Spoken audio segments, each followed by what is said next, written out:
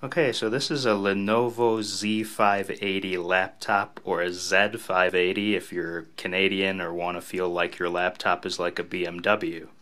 Anyway, this laptop is 10 years old, so that will play a huge role in some of the decisions or explaining what is going on here and perhaps the situation you might be in with your Lenovo if you have uh, an older Lenovo, especially. But it speaks to Lenovo that they can actually last this long as a laptop. So, opening it up, and if I try to turn it on, even pushing down, uh, you know, nothing is really happening. Sometimes uh, an orange button would flash that would show that the battery was still, you know, in there and functioning. So now, if I try to go ahead and plug in the charger, let's lift it up.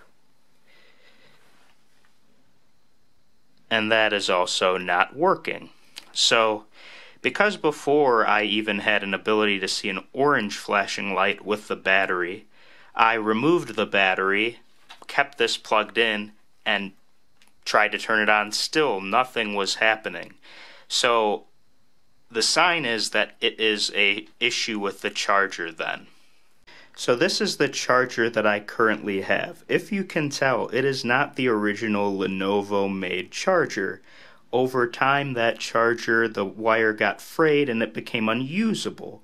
So then i went on to uh, the internet to see at the time even the price to replace with an actual lenovo adapter was far more expensive than getting a third party off brand adapter like this one. Uh, the computer was already so aged that I said, what the heck, let me go ahead and buy a third party adapter.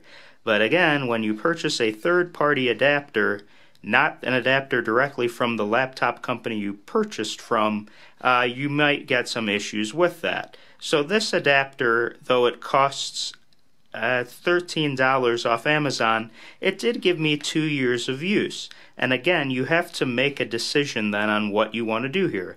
I know this laptop can still function, and it is a secondary laptop in my life, but it is 10 years old. Uh, I don't even know when looking at Lenovo's website that they even provide an adapter option for this laptop at this point. So really the only option is to again invest $12 into uh, another third-party charger uh, from Amazon. So here is the new one I purchased, exact same uh, company. You can see brand, model number, uh, so nothing has changed. Ooh, it came with bubble wrap. I'll have fun popping that.